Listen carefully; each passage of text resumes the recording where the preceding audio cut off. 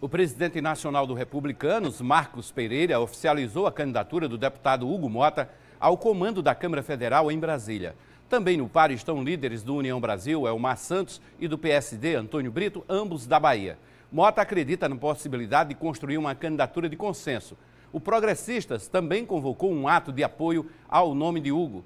Nascido em João Pessoa, Hugo Mota Vanderlei da Nóbrega está no seu quarto mandato como deputado. Começou em 2005 quando se filiou ao então PMDB, que hoje é o MDB, para no ano seguinte apoiar a candidatura do ex-senador José Maranhão ao governo do estado.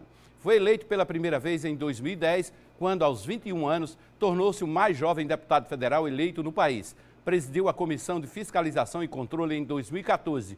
No ano seguinte, comandou a CPI da Petrobras, responsável por investigar irregularidades na construção de refinarias no Brasil. Também foi vice-líder de diversos blocos partidários na Câmara Federal e fez parte da base de sustentação dos governos Dilma Rousseff, Michel Temer e Jair Bolsonaro. Se aproximou do governo Lula desde que Silvio da Costa Filho, do Republicanos, foi empossado como ministro dos Portos e Aeroportos. Hugo Mota foi eleito em 2022 com 158.171 votos, sendo o deputado federal mais votado do estado. Ele é filho do prefeito de Patos, Nabor Vanderlei, e neto da deputada estadual Francisca Mota, ambos também no Republicanos.